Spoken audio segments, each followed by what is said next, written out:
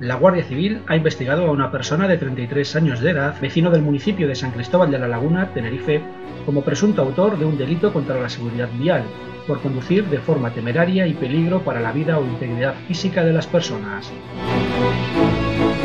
Los hechos ocurrieron el pasado día 19 del presente mes de marzo, cuando el conductor investigado y sus tres acompañantes de 22, 33 y 37 años de edad, también vecinos del municipio de San Cristóbal de la Laguna, circulaban por una carretera perteneciente al municipio de Tacoronte mientras se grababan con un terminal móvil realizando aspavientos, burlas y gritos a los vecinos relacionados con la actual grave situación de crisis sanitaria.